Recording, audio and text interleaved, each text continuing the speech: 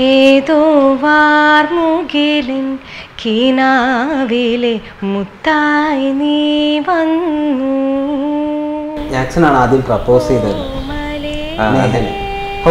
your- പിന്നെ gradually friendship became like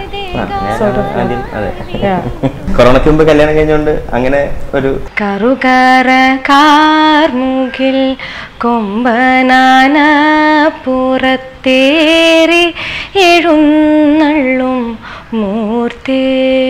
പിന്നെ ജയിക്കാൻ തുടങ്ങിയപ്പോഴാണ് എനിക്ക് തന്നെ like okay maybe I am good at this എന്ന് തോന്നിയത് അൻവർ റഷീദ് വിളിക്കുമ്പോൾ നമുക്ക് പിന്നെ എങ്ങനെയെങ്കിലും അത് ചെയ്യാന്നുള്ളതാണല്ലോ.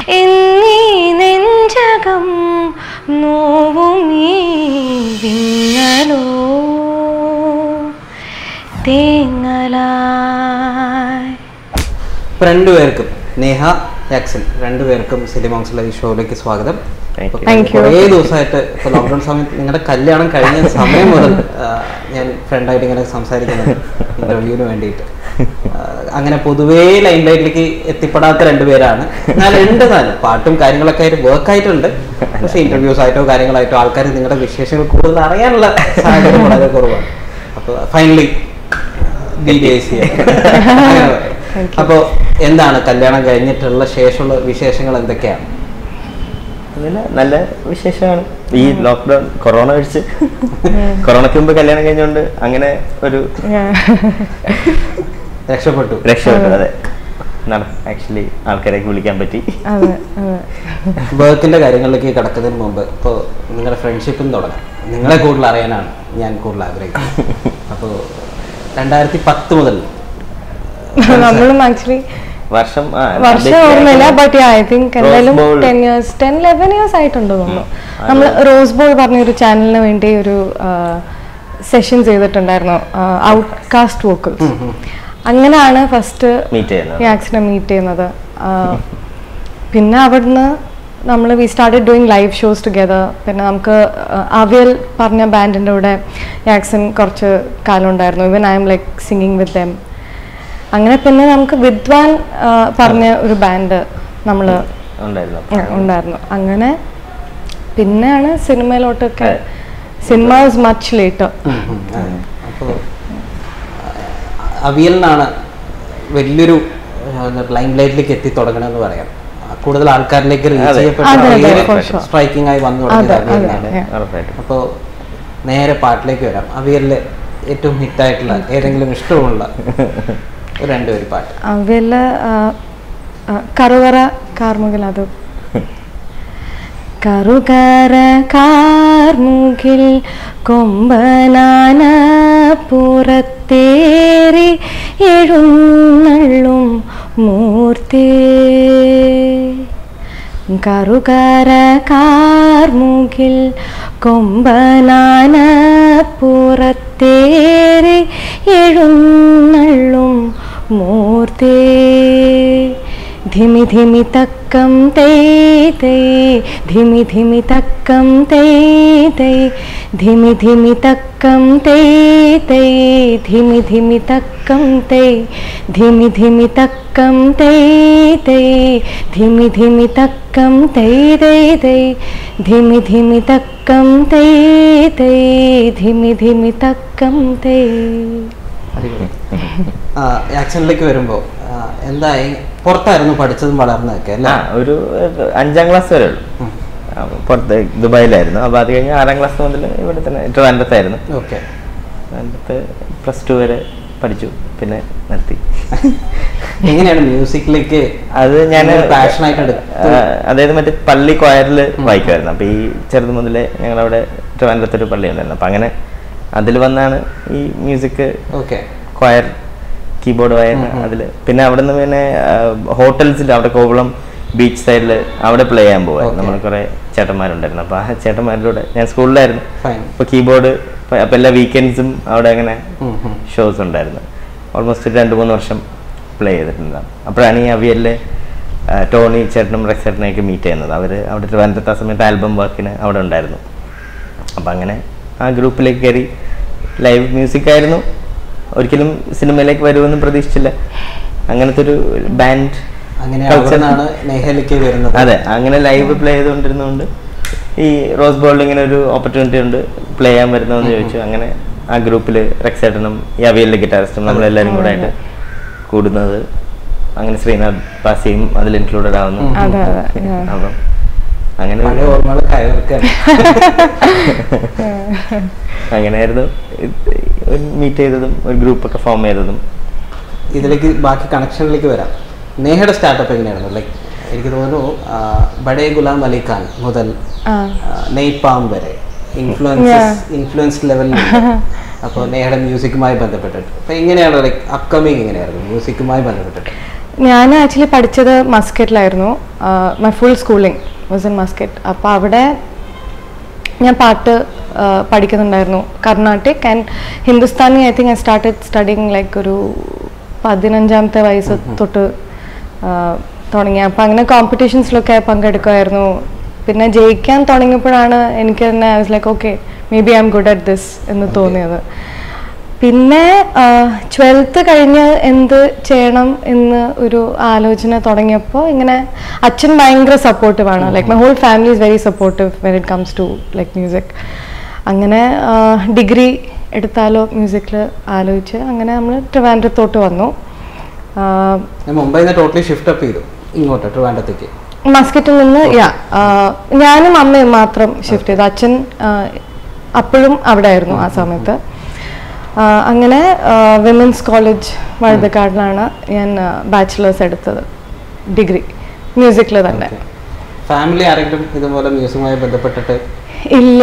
സത്യം പറഞ്ഞ ഞാൻ ആയിരിക്കും ആദ്യത്തെ. അച്ഛനൊക്കെ ഭയങ്കര ഇഷ്ടമാണ് പക്ഷെ സാഹചര്യം കൊണ്ട് അങ്ങനെ ഹി കുഡന്റ് ലേൺ മറ്റേ ബിഗ് ഹ്യൂജ് ഫാമിലിയാണ് അപ്പൊ അതുകൊണ്ട് തന്നെ ആയിരിക്കും അപ്പൊ അതുകൊണ്ട് തന്നെ ആയിരിക്കണം അതെ അതെ. ഞാൻ കേട്ടിട്ടുണ്ട് ലൈക് ജാക്സനാണ് ആണ് ആദ്യം പ്രപ്പോസ് ചെയ്തത്. ആ, നേഹന് ഹൗ അബൌട്ട്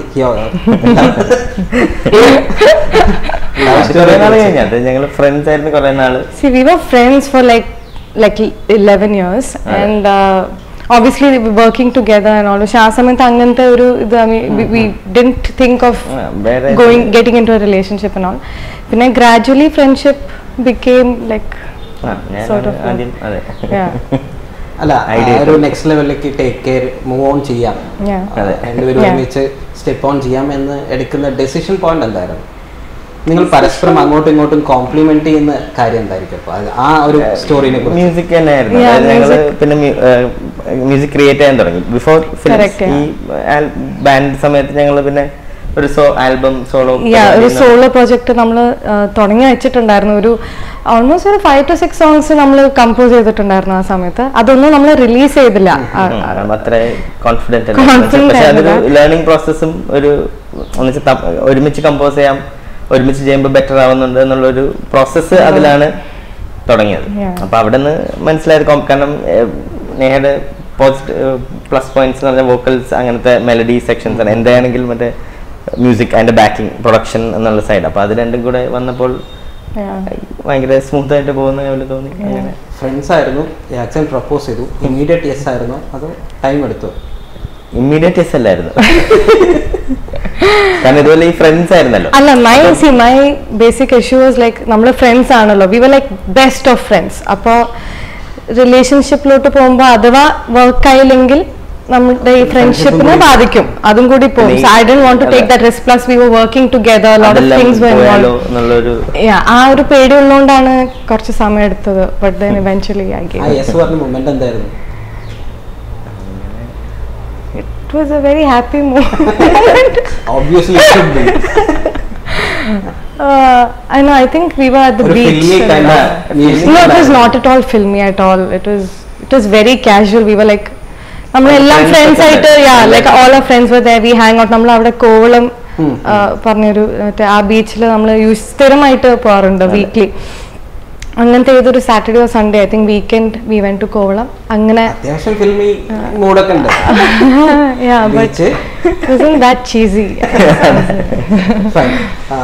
അവിയലിലേക്ക് വന്നതിന് ശേഷം നിങ്ങൾ രണ്ടുപേരും ഒന്നിക്കുന്നതും മ്യൂസിക്കുമായി ബന്ധപ്പെട്ട് നിങ്ങൾ പരസ്പരം ഇഷ്ടപ്പെട്ട് തുടങ്ങിയും തുടങ്ങി. പിന്നീട് അവിയലിന് എന്ത് പറ്റി? ലൈക്ക് അത്രയും ഷോക്കേസ് ചെയ്യുന്ന രീതിയിൽ ഇപ്പൊ ലൈൻ ഇപ്പൊ ഫിലിമി ഫിലിം കൈൻഡ് ഓഫ് പ്രോജക്ട്സിൽ അവിയൽ വരുന്നില്ല. അപ്പൊ എന്താണ് എന്താണ് അവിയലിനെ പറ്റി? ലൈക്ക് സോൾട്ട് ആൻഡ് പേപ്പറിൽ കള്ളൻ ട്രാക്ക് ഭീകരമായിട്ട് ആൾക്കാർ ഇഷ്ടപ്പെടുകയും കൂടുതൽ ആൾക്കാർ എന്താ അടുത്ത ഏതാ അടുത്ത ഏതാ ഏതായിരിക്കും എന്നുള്ള ഒരു ക്യൂരിയസ് ഫാക്ടർ ഡെവലപ്പ് ചെയ്തിരുന്നു. ബിസി ആയി ഇപ്പം ആ സമയത്ത് ടെക്സൈറ്റൻ ഫിലിംസിൽ കയറി മ്യൂസിക് ഡയറക്ടറായിട്ട് മാറി. അപ്പം ആ സമയത്താണ് ഈ സെക്കൻഡ് ഷോയും അങ്ങനത്തെ നീലാകാശം അപ്പൊ അതിൽ എനിക്ക് ടെക്സൈറ്റൻ ബിസി ആയതുകൊണ്ടാവാം ഇതിൽ കാരണം കൊച്ചിയിലേക്ക് മാറി. അവിൽ ട്രിവാൻഡത്തായിരുന്നു അപ്പം ഈ ഫിലിമിന് വേണ്ടിയിട്ട് റെക്സൈറ്റൻ കൊച്ചിയിലേക്ക് മാറിയിട്ടുണ്ടായിരുന്നു. അപ്പൊ ടൈം കൺസ്ട്രെയിന്റ് ആവണം ആയിരിക്കണം. അതിലേക്ക് അധികം. കാരണം ആക്ച്വലി ഇത് രണ്ടും കംപ്ലീറ്റ്ലി നമുക്കും അത് വിദ്വാനിൽ പറ്റിയത് അത് തന്നെയാണ്. അത് ഈ ബാൻഡ് എന്ന് പറയുമ്പോൾ അതിന് ഫുൾ കുറച്ച് ടൈം നമ്മൾ സ്പെൻഡ് ചെയ്യണം. ഫിലിംസിലേക്ക് കയറുമ്പോഴേക്കും വേറെ ഒന്നിനും അങ്ങനെ ടൈം ഇൻവെസ്റ്റ്മെന്റ് തന്നെയാണ് ഏറ്റവും വലിയ കാര്യം. ഇനി ഏതെങ്കിലും പ്രോജക്റ്റ് നിങ്ങളുടെ ഇടയിൽ ടോക്സ് ആയിട്ട് നടക്കുന്നുണ്ടോ?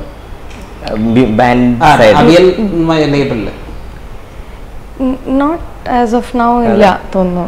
ഇപ്പൊ പിന്നെ ഈ ഇപ്പൊ എല്ലാം കുറച്ച് ലൈവ് ഷോസ് എല്ലാം ഒന്നും ഇല്ലാത്തതുകൊണ്ട് ഇൻഡിപെൻഡന്റ് ആയിട്ട് നിങ്ങൾ രണ്ടുപേരും ഡുവോ മ്യൂസിക് ഡുവോ പ്രോഗ്രാമിംഗ് അല്ലെങ്കിൽ പ്രോഗ്രാമിംഗ് എന്നുള്ള വാക്ക് തെറ്റാണെന്ന് പറഞ്ഞിട്ടുണ്ട്.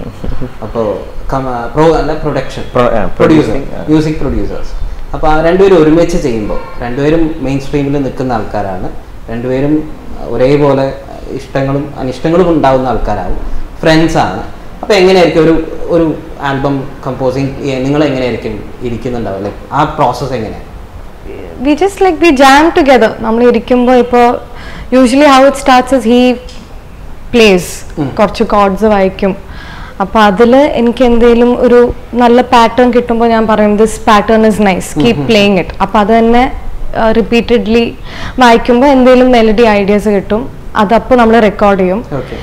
ആൻഡ് നമ്മളൊരു ഗ്യാപ്പ് എടുത്ത ശേഷം തിരിച്ചു വന്ന് അത് കേൾക്കുമ്പോൾ we like it then will build on it usually അങ്ങനെയാണ് നമ്മുടെ പ്രോസസ് ഫോർ പിന്നെ അതല്ലാതെ ചിലത് അങ്ങനെ വർക്ക് ആവാം അതായത് തിരിച്ചാവാം. ചിലപ്പോൾ ഒരു ട്യൂൺ ആദ്യം ഹം ചെയ്ത് എന്തെങ്കിലും ഇപ്പൊ സിറ്റുവേഷൻ പറഞ്ഞു തരുമ്പോ ഒരു മെലഡി പക്ഷെ റേറാണ് അങ്ങനത്തെ സാഹചര്യങ്ങൾ. യാ എന്തെങ്കിലും നേഹ ഹം ചെയ്യുമ്പോഴത്തേക്ക് ഞാൻ അതിന്റെ ബാക്കിംഗ് അങ്ങനത്തെ ട്രൈ ചെയ്ത് അങ്ങനെ ട്രൈ. അപ്പോ ഇപ്പൊ എനിക്ക് തോന്നുന്നു സേതുലക്ഷ്മി മാമി ആയിരുന്നു ആദ്യത്തെ. അങ്ങനെ ഒരു അതിലേക്ക് ആ ഡെസിഷൻ മേക്കിംഗ് എങ്ങനെയായിരുന്നു? ഓക്കെ ഫൈൻ നമുക്കൊരു വലിയ വലിയ ആൾക്കാരുടെ സിനിമയാണ്. ഷൈജു ഖാലിൻ ആൻഡ് അൻവർ റഷീദിന്റെ രണ്ടുപേരും സിനിമയാണ്. ഒരു ഒരു പാക്ക് ഓഫ് വലിയ ഡയറക്ടേഴ്സ് വരുന്ന അഞ്ച് സുന്ദരികൾ എന്ന് പറഞ്ഞ സിനിമയാണ്. അതിൽ ഡെസിഷൻ മേക്കിംഗ് എങ്ങനെയായിരുന്നു ഓക്കെ ഇത് ചെയ്യാം ഏറ്റെടുക്കാം എന്ന് പറഞ്ഞിട്ട്. അങ്ങനെ ഒരു ഓപ്ഷൻ അതായത് അൻവർ റഷീദ് വിളിക്കുമ്പോൾ നമുക്ക് പിന്നെ എങ്ങനെയെങ്കിലും അത് ചെയ്യാന്നുള്ളതാണല്ലോ. അല്ലാതെ അങ്ങനെ കൺഫ്യൂഷൻ അടിച്ചില്ല. പക്ഷെ അത് ബേസിക്കലി എനിക്കൊന്ന് പുള്ളിക്ക് വേണ്ടിയിട്ട് കുറച്ച് ആഡ്സ് ഒക്കെ ചെയ്തിട്ടുണ്ട്. നേരത്തെ അങ്ങനെ. അങ്ങനത്തെ. അപ്പൊ അതിൽ ഇൻട്രസ്റ്റ് ആയിട്ട് ഇഷ്ടമായിട്ട് പുള്ളി തന്നെയാണ് ഇങ്ങനത്തെ ഒരു പ്രോജക്റ്റ് ഉണ്ട്. അപ്പൊ അഞ്ചു പേരുണ്ട് എന്ന് പറഞ്ഞിട്ട് അമ്പു ആമി ചെയ്യാനാണ് ആദ്യം പുള്ളി വിളിക്കുന്നത്. അപ്പൊ അത് ചെയ്യാനായിട്ട് ഇങ്ങനെ വന്ന് തുടങ്ങിയപ്പോഴത്തേക്കുമാണ് ഷൈജു ഖാനെ പരിചയപ്പെടുന്നത്. അപ്പൊ പുള്ളിയും പുള്ളിയും അത് കണ്ട് കേട്ട് ഇഷ്ടപ്പെട്ടിട്ട് പുള്ളി എന്ന എന്റെ ഫിലിം കൂടെ കൂടെ ചെയ്യ്." ചെയ്യാമോ? ആ, ഒരു പ്രോസസ് എങ്ങനെ എക്സ്പീരിയൻസ് അത് എനിക്ക് എനിക്കൊന്ന് ആദ്യത്തെ ഈ എനിക്ക് ആദ്യത്തെ ഫിലിമിലെ എക്സ്പീരിയൻസ് എന്ന് പറഞ്ഞാൽ ചാപ്പക്കുരിശായിരുന്നു. ഞാൻ റെക്സേട്ടൻ ചെയ്ത ഫിലിമിൽ ഞാൻ കോ പ്രൊഡ്യൂസറായിട്ട് ചെന്നൈയിലേക്ക് ഞങ്ങൾ വന്ന് ഒരു മാസം നിന്ന് ചെയ്തു. അപ്പൊ അതായിരുന്നു ഫിലിമിലുള്ള സ്കോറിങ് ആദ്യത്തെ എക്സ്പീരിയൻസ് അത് കഴിഞ്ഞ് ഒറ്റയ്ക്ക് ചെയ്യുന്ന ഒരു കുറച്ച് ഗ്യാപ്പ് കഴിഞ്ഞിട്ടാണ് ഈ അഞ്ച് അതിന്റെ ഇടയ്ക്ക് ഷോർട്ട് ഫിലിംസ് ഒക്കെ ചെയ്തു. അപ്പൊ അതിന്റെ ഇടയ്ക്ക് എക്സ്പീരിയൻസ് ബിൽഡ് ചെയ്യുന്നുണ്ട്. കാരണം ഈ ലൈവ് മ്യൂസിക് പോലെ അല്ലല്ലോ. കംപ്ലീറ്റ്ലി വേറൊരു പ്രൊഡക്ഷൻ ഈ സോഫ്റ്റ്വെയർ യൂസ്ഡ് ആവണം ടോൺസ് അതൊക്കെ ലൈവിന് അതിന്റെ ഒന്നും ആവശ്യമില്ല. കീബോർഡ് ആയിട്ട് യൂസ്ഡ് ആവണം അതിനകത്തുള്ള ടോൺസ് അതിൽ ഹോട്ടലിൽ വെച്ച് ഭാഗ്യത്തിന് എക്സ്പീരിയൻസ്ഡ് ആയിരുന്നു ഈ അതിലെ ടോൺസ് പിന്നെ ഈ കമ്പ്യൂട്ടറിലേക്ക് മാറുന്ന ഒരു പ്രോസസ്സ് കഴിഞ്ഞ് അത് എനിക്കൊന്ന് ഈ കറക്റ്റ് കറക്റ്റ് ടൈം ആയിരുന്നു. ആ സമയത്ത് ഞങ്ങളും മറ്റേ ഈ ആൽബം ഒക്കെ ചെയ്ത് ഇങ്ങനെ ഇത് ടച്ചിലായിരുന്നു ഇതുമായിട്ട് കമ്പോസിങ്ങിൽ അപ്പൊ അങ്ങനെ കൊച്ചിയിലേക്ക് വന്ന് ഈ സ്കോർ ചെയ്യാനായിട്ട്. അപ്പോഴാണ് പറഞ്ഞത് ആ പാട്ടും ഒരു പാട്ടും കൂടെ ഉണ്ട്. അപ്പൊ പാട്ടിന്റെ കാര്യം വന്നപ്പോഴത്തേക്കും എനിക്ക് ടെൻഷൻ ഞാൻ അങ്ങനെ ഇതിലങ്ങനെ ഒറ്റയ്ക്ക് ചെയ്തിട്ട് മെലഡി ആയിട്ട് കമ്പോസ് ചെയ്ത് ചെയ്തിട്ടുണ്ട്. ചെറിയ ജിംഗിൾസിനൊക്കെ അല്ലേ ഉള്ളൂ. അല്ലാതെ ഒരു സോങ് ആയിട്ട് അങ്ങനെ ചെയ്തിട്ടില്ല. അപ്പൊ ഞാൻ നമ്മൾ ആ എക്സ്പീരിയൻസ് വെച്ചിട്ട് ഞാൻ പറഞ്ഞു എന്നാൽ നമുക്ക് ഒരുമിച്ച് ചെയ്യാം. എന്ന് പറഞ്ഞിട്ട് ഞങ്ങൾ ഒരുമിച്ച് ആണ് മന്ദാരക്കാറ്റെ ആദ്യം ചെയ്യുന്നത്. പിന്നെ ആമിയുടെ പാട്ട് വന്നത് മച്ച് ലേറ്റർ സ്കോറിന്റെ സമയത്താണ് ഇങ്ങനെ അല്ലെ? സ്കോറിന്റെ സമയത്താണ് അമ്പുക്ക ഇങ്ങനെ പറഞ്ഞത്. ഒരു പാട്ടും കൂടി നമുക്ക് ഇതിൽ ആഡ് ചെയ്യാം. ക്ലൈമാക്സ് കാണിക്കാനായിട്ട്. ചെന്നൈയിലായിരുന്നു. ഞാൻ ഞാനും ഞാൻ മാത്രമേ അവിടെ ആയിരുന്നു അപ്പം ആ, സമയത്ത് പറഞ്ഞപ്പം ഞാനിങ്ങനെ ഒരു ബേസിക് ഒരു ബേസിക് ഐഡിയ ഇമെയിൽ അയച്ച്. അപ്പൊ അങ്ങനെ ഐ വാസ് ഇൻ ട്രിവാൻഡ്രം ഒരു ബേസിക് മെയിൽ ഐഡിയ ഞാൻ ക്രിയേറ്റ് ചെയ്ത് തിരിച്ചയക്കുന്നു. അങ്ങനെ we check if it's working അപ്പൊ ഹി ലൈക്ക് ഡിറ്റ് അങ്ങനെ ആ പാട്ട്. അങ്ങനെ ഉണ്ടാക്കിയതാണ് ആമിയിലെ പാട്ട്. സിനിമ ഇറങ്ങി. നല്ല അപ്രിസിയേഷൻസിലേക്ക് എത്തി. ആ ഒരു ആ സമയം എങ്ങനെയുണ്ടായിരുന്നു ലൈക്ക് നിങ്ങൾക്ക് രണ്ടുപേർക്ക് ഇങ്ങനെയൊക്കെ ചെന്നൈ ട്രിവാൻഡ്രം നമ്മൾ മെയിൽ അയച്ചൊക്കെ അങ്ങനെ ഉണ്ടാക്കിയ ഒരു പാട്ട് ആദ്യമായിട്ട് ചെയ്ത ഒരു വർക്ക് അതെ ഹൺഡ്രഡ് പെർസെന്റ് ആ അപ്രീഷിയേഷനും കിട്ടിയതുകൊണ്ട് മാത്രമാണ് ഞങ്ങൾ ഇതൊരു കരിയറായിട്ട് എടുക്കാൻ. അതായത് സിനിമയും നമുക്ക് നമ്മൾ നമ്മളെ കൊണ്ട് പറ്റുമെന്ന് വിചാരിച്ച സംഭവം അല്ല. അത് പറ്റുമെന്ന് മനസ്സിലായത് അതിലൂടെയാണ്. ഓർത്തെടുക്കുമ്പോൾ ആ സമയത്ത് കിട്ടിയ അപ്രിസിയേഷൻസിൽ വാല്യൂബിൾ ആയിട്ട് അങ്ങനെ പ്രഷ്യസ് ആയിട്ട് കരുതുന്ന എന്തെങ്കിലും ഉണ്ടോ? ലൈക്ക് നമുക്ക് ഏറ്റവും കൂടുതൽ ഇൻസ്പിറേഷൻ മോട്ടിവേഷൻ ആയിട്ട് ഫോർവേഡ് ചെയ്യാൻ നമുക്ക് ധൈര്യം തന്നിട്ടുള്ള ഏതെങ്കിലും അപ്രിസിയേഷൻസ് ഉണ്ടായിട്ടോ അത് ഈ പറയുന്ന എല്ലാവരും അതായത് അമലേട്ടൻ എല്ലാവരും അമൽ ഉൾപ്പെടെ അതിനകത്ത് ചെയ്ത ഇത് അപ്രീഷിയേറ്റ് ചെയ്തുകൊണ്ടാണ് നമുക്ക് പുള്ളി വിളിക്കുന്നത് വളരെ അത് കഴിഞ്ഞിട്ടാണ്. ഒരു കുറച്ച് കഴിഞ്ഞു പക്ഷെ പുള്ളിയൊക്കെ പോലത്തെ ആൾ. കാരണം നമ്മൾ ഈ ബിഗ് ബി ഒക്കെ ഭയങ്കര മ്യൂസിക്കൽ പരിപാടിയാണ്. മലയാളത്തിന്റെ മ്യൂസിക് ചേഞ്ച് ഓവർ അങ്ങനെ നമ്മൾ നോക്കിയിരിക്കുന്ന ഒരാൾ നമ്മൾ മ്യൂസിക് കൊള്ളാന്ന് പറയുമ്പോൾ നമുക്ക് എന്തായാലും സിനിമ പറ്റും എന്നുള്ളത് തന്നെ ഒരു ധൈര്യം പിന്നെ നമുക്ക് നിങ്ങൾ വർക്ക് ചെയ്ത ഡയറക്ടേഴ്സുമായി ബന്ധപ്പെട്ടിട്ടും അങ്ങനെ ഓരോരുത്തരായിട്ട് നിങ്ങൾ നിങ്ങളിൽ ഉണ്ടാക്കിയ മാറ്റങ്ങൾ എന്തൊക്കെയാണ്? നിങ്ങളുടെ മ്യൂസിക്കിനെ എങ്ങനെ ഇൻഫ്ലുവൻസ് ചെയ്തിട്ടുള്ള രീതിയിൽ നമുക്ക് പോകാം അപ്പോൾ ആദ്യം നമുക്ക് റെക്സ് വിജയൻ തന്നെ തുടങ്ങാം. അസിസ്റ്റന്റ് ആയിട്ട് സ്റ്റാർട്ട് ചെയ്തു. അവിടെ നിന്ന് ഇൻഡിപെൻഡന്റ് ആയി ഇപ്പോൾ ഇതാ ഒപ്പമുള്ള ഷെയറിങ് സ്പേസസ് ഉണ്ട്. എന്തൊക്കെയാണ് നിങ്ങളിൽ വരുത്തിയ മാറ്റങ്ങൾ എന്താണ്? ഇൻഫ്ലുവൻസസ് എന്താണ്? രണ്ടുപേർക്കും പറയാം. റെക്സേട്ടൻ എനിക്ക് തിങ് വാസ് ഞാൻ പറഞ്ഞ പോലെ മസ്കറ്റിൽ I was I lived in a quite a very boxed life very protected environment ആയിരുന്നു. അതുകൊണ്ട് ഞാൻ മറ്റേ ഇന്ത്യൻ മ്യൂസിക് മാത്രമായിരുന്നു കേട്ടുകൊണ്ടിരുന്നതും ക്ലാസിക്കൽ ആൻഡ് ഇന്ത്യൻ മ്യൂസിക് ആയിരുന്നു മെയിൻ ഫോക്കസ് ഞാൻ ട്രിവാൻഡ്രത്തോട്ട് വന്നപ്പോഴും കച്ചേരികളും മറ്റേ സൂര്യ ഫെസ്റ്റിവൽ അങ്ങനത്തെ ഒരു ഇതായിരുന്നു ഞാൻ. I I never thought I would be composing music and everything ആ ഒരു ഇന്നോവേറ്റീവ് ഐഡിയ ആ ഒരു ഇൻസ്പിറേഷൻ വന്നത് ത്രൂ റെക്സൈഡൻ he sort of introduce me to a lot of world musicians കുറേ ആർട്ടിസ്റ്റ് ലൈക്ക് ബിയോർക്കും ഇമോജൻ ഹീപ്പ് ആ സമയത്ത് for me it was like a very new thing so ആ രീതിയിൽ like he open my mind that was a huge turning point for me അതെ തീർച്ചയായിട്ടും. Same അതായത് ഞങ്ങൾ കുറെ ലിസ്ണിംഗ് ഒക്കെ ചേഞ്ച് ചെയ്ത് റെക്സൈഡിന്റെ ഇന്ന് കേൾക്കുന്ന സാധനങ്ങൾ കേൾക്കുക. അപ്പൊ അങ്ങനത്തെ അതായിരുന്നു നമ്മുടെ അന്നത്തെ എന്താ പുതിയ ഇൻസ്പിറേഷൻ എന്ന് പറയുന്നത് അല്ലെങ്കിൽ പ്രൊഡക്ഷനിൽ പ്രൊഡക്ഷന്റെ അതന്നെ. ഡിഫറെന്റ് അതായത് പുള്ളി കേൾക്കുന്ന അല്ലെങ്കിൽ നമ്മൾ ഒരുമിച്ച് കേട്ട ട്രാക്സ് എന്നൊക്കെ പറഞ്ഞാൽ അങ്ങനെ ഇങ്ങനെയും ചെയ്യാമല്ലോ എന്നുള്ള കുറെ പക്ഷെ ആ സമയത്ത് ഈ പറഞ്ഞ പോലെ ബാൻഡ് മറ്റേ ലൈവ് മ്യൂസിക് സിറ്റുവേഷൻ ആയിരുന്നു. അതൊന്നും ചിലപ്പോൾ സിനിമയിൽ വർക്ക്ഔട്ട് ആവുന്നൊന്നുമില്ല അപ്പം ആ. ആ ഒരു ലൈവ് മ്യൂസിക് സീനിൽ ഈ വിദ്വാൻ എന്നുള്ള ബാൻഡൊക്കെ ഫോം ചെയ്യാനായിട്ടുള്ള ഏറ്റവും വലിയ ഇൻസ്പിറേഷൻ എന്നൊക്കെ പറഞ്ഞാൽ ഈ അവിയലും റെക്സൈറ്റിനൊക്കെയാണ്. അപ്പൊ ആ ലൈവ് മ്യൂസിക് സിറ്റുവേഷനിൽ ഭയങ്കരമായിട്ട് ഇൻസ്പയർ ചെയ്തിട്ടുണ്ട്. പുള്ളിയുടെ പ്ലേയിങ് ആണെങ്കിലും ഇതങ്ങനെ. ഇതേ സമയത്തല്ലേ ഒരു ഡാൻസ് അക്കാഡമിയിൽ ആ അത് മറ്റേ ഏർ, ദക്ഷ സേത്ത് എന്ന് പറഞ്ഞിട്ട് പുള്ളി. അപ്പൊ ഇത് ഇതുവഴി തന്നെയാണ്. ആക്ച്വലി ഈ റെക്സേട്ടും ടോണിയും പണ്ട് മുതലേ ഇവരുടെ കൂടെ ലൈവ് ഷോസിന് പ്ലേ ആയി അപ്പൊ അവർ ബിസി ആയപ്പോഴേക്കും ആരെങ്കിലും ഉണ്ടോ എന്ന് ചോദിച്ചു. അപ്പം റെക്സേട്ടൻ ടോണി ചേട്ടൻ തന്നെയാണ് പറഞ്ഞത് ഇങ്ങനെ ഒരാളുണ്ട്. അങ്ങനെ അവരുടെ വഴി തന്നെയാണ് അവിടെ കയറുന്നത് ഈ അതിൽ നടത്തിയിട്ടുള്ള കൂടുതലും ഫോറിൻ ടൂർസും കാര്യങ്ങളൊക്കെ മറ്റേ തിയേറ്റർ ഡാൻസ് തിയേറ്റർ പ്രൊഡക്ഷൻ അപ്പൊ അങ്ങനത്തെ തിയേറ്റേഴ്സിൽ തന്നെ ലൈവ് തിയേറ്റേഴ്സിൽ തന്നെയാണ് അവർ പോയി ചെയ്യുന്നത്. അപ്പം ഞാൻ അതിൽ അവരുടെ ഒരു ടെൻ പെർസെന്റ് ഞാനും അതിനകത്ത് പ്ലേ ചെയ്തിട്ടുണ്ട്. അവർ കാരണം വളരെ മുമ്പേ വർഷങ്ങളായിട്ട് പ്ലേ ചെയ്തുകൊണ്ട് എന്ന് വെച്ചാൽ എല്ലാ ഇയറും അവർ ഒരു ടൂർ നടത്താറുണ്ട് പുറത്ത് ഏതെങ്കിലും അപ്പം അങ്ങനെ അതിലൊരു എനിക്കൊന്ന് ടു ത്രീ ഇയേഴ്സ് ഞാനും പെർഫോം ചെയ്തത്. അപ്പോഴാണ് ഈ താവ് ദക്ഷസേത്തിന്റെ മോനാണ് താവ് നമ്മുടെ വിദ്വാനിലെ ഡ്രമ്മർ. അപ്പൊ ആ താവിനെ പരിചയപ്പെടുത്തുന്നതും അങ്ങനെയാണ് പിന്നെ വിദ്വാൻ ഒരു ബാൻഡ് ഫോം അങ്ങനത്തെ ഒരു പരിപാടിയൊക്കെ ആവുന്നത്. ലൈവ് ഷോസും കാര്യങ്ങളും ചെയ്യുന്ന അതേ അല്പം വ്യത്യസ്തമുണ്ട്. ലൈക്ക് ഇപ്പൊ ഡ്രാമ. ചെയ്തിട്ടുള്ള രീതിയിൽ അത് അതും പുറത്ത് രാജ്യങ്ങളിലാണ്. മേജർ റിസപ്ഷൻസ് അവർ ഫോറിനേഴ്സ് തന്നെയാണ്. അതെ. അത്തരം ആ ഒരു എക്സ്പീരിയൻസ് എന്താ?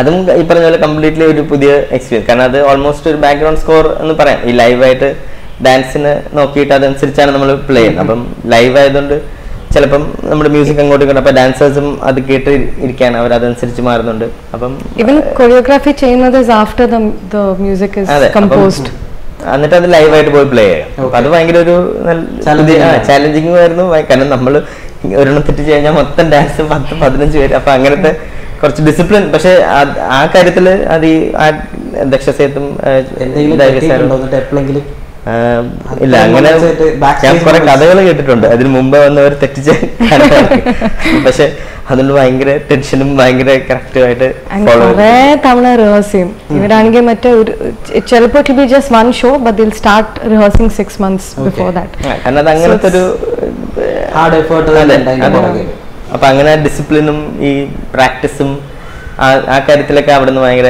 ഈ താവന്റെ അമ്മയും അച്ഛനും വഴി അവർ ഭയങ്കര എന്താ പറയാ ഡിസിപ്ലിൻ ഈ പറയുന്ന പോലെ ടീച്ചേഴ്സാണ് ശരിക്കും. അവർ സ്കൂളാണല്ലോ ഡാൻസ് സ്കൂൾ നടത്തുകയായിരുന്നു.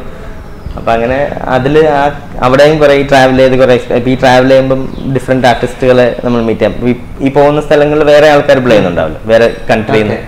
അപ്പൊ അങ്ങനെ അവരുടെ പരിപാടി കാണുകയും അതെ അത് ഓൺലൈനൊന്നും അങ്ങനെ കിട്ടാത്ത യൂട്യൂബ് അന്നത്രയും ഇതിലൊന്നും വന്നിട്ടില്ല. അപ്പൊ ഇത് നേരിട്ട് കാണുക അവരായിട്ട് സംസാരിക്കുക അതെങ്ങനെയാണെന്ന് കാണുക. അങ്ങനത്തെ കുറെ അത് ഭയങ്കരമായിട്ട് ഈ പറയുന്ന പോലെ എന്നെ ഹെൽപ്പ് ചെയ്തെന്ന് അത് ഇന്നത്തെ മ്യൂസിക് പ്രൊഡക്ഷനിൽ എന്തെങ്കിലും കാര്യമായിട്ട് അല്ല അതെ അത് ഞാൻ പറഞ്ഞത് അത് ഓൾമോസ്റ്റ് ബാക്ക്ഗ്രൗണ്ട് സ്കോർ പോലെ ആയിരുന്നല്ലോ. അപ്പൊ അതൊക്കെ ആവാം.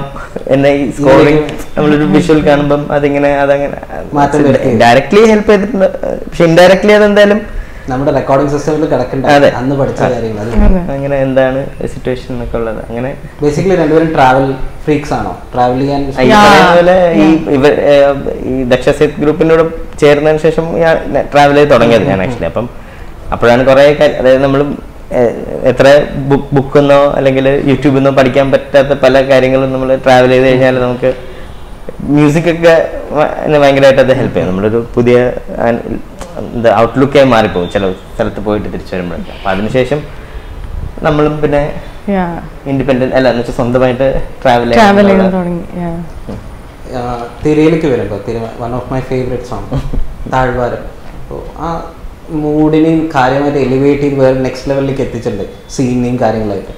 അപ്പോൾ ആ ഷാൻ റഹ്മാനായിട്ടുള്ള ഒരു അസോസിയേഷൻ എങ്ങനെയുണ്ടായിരുന്നു Shaan Rahman I think he'd call me രണ്ട് മൂന്ന് തവണ തിരയുടെ മുമ്പ് വിളിച്ചായിരുന്നു. Uh, പക്ഷെ ഫോർ സം റീസൺ അത് വർക്ക്ഔട്ട് ആയില്ല. Means I was not able to record അല്ലെങ്കിൽ ആ പ്രോജക്റ്റ് ഇങ്ങനെ ക്യാൻസൽ ആയിപ്പോവും. തിരയിലോട്ട് വിളിക്കുമ്പോൾ ഞാൻ ട്രിവാൻഡ്രം തന്നെയാണ്. And I think he was in Calicut so നമുക്ക് മീറ്റിംഗ് പോയിന്റ് ഉണ്ടായിരുന്നില്ല. അപ്പോൾ വാട്ട് ഹി ഡിഡ് ഇസ് എനിക്ക് പാട്ട് അയച്ചു തന്നു. ആൻഡ് ഇങ്ങനെ റിക്വയർമെന്റ്സ് പറഞ്ഞു എന്താണ് മൂഡ് ഇങ്ങനെ അങ്ങനെ. ജസ്റ്റ് റഫായിട്ട് റെക്കോർഡ് ചെയ്യാൻ. If it works out will see what to do അങ്ങനെ ഞാൻ വീട്ടിൽ തന്നെ റെക്കോർഡ് ചെയ്തിട്ട് അയച്ചിട്ട് Vineeth like it a lot അങ്ങനെ ആ പാട്ട് ഇഷ്ടപ്പെട്ട ശേഷമാണ് എനിക്ക് തോന്നുന്നു അതിന് ക്ലൈമാക്സിലൊരു നിത്യ ആ നിത്യ നിത്യസഹായ സഹായ ആ ഒരു സംഭവം കൂടി record ചെയ്യിപ്പിച്ചത്. So it was very nice like they they they are not like adamant like I have to come to Kochi അല്ലെങ്കിൽ അങ്ങോട്ട് വന്നേ ഇങ്ങോട്ട് വന്ന് റെക്കോർഡ് ചെയ്യണം. അങ്ങനത്തെ ഒരു പ്രശ്നം ഉണ്ടായിരുന്നില്ല. He was he gave me like full freedom എനിക്ക് തോന്നുന്നു അതൊക്കെ ആയിരിക്കും. താഴ്വാരത്തിലൊരു പാട്ട്. താഴ്വാരം മേലാകെ ചുടുകയായി മൗനം. പാഴ്ത്താരം പാരാകെ തേടുകയായി മൂകം.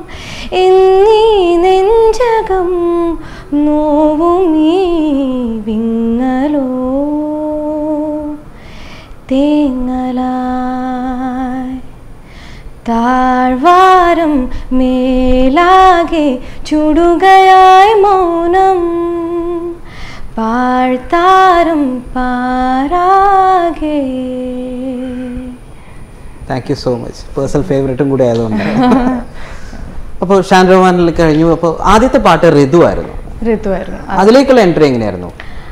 അത് ഞാൻ കോളേജിൽ പഠിക്കുന്ന സമയത്ത് ഞാൻ ഒരു ഡെമോ സി ഡി റെക്കോർഡ് ചെയ്തിട്ടുണ്ടായിരുന്നു. ഒരു നാലഞ്ച് പാട്ട്.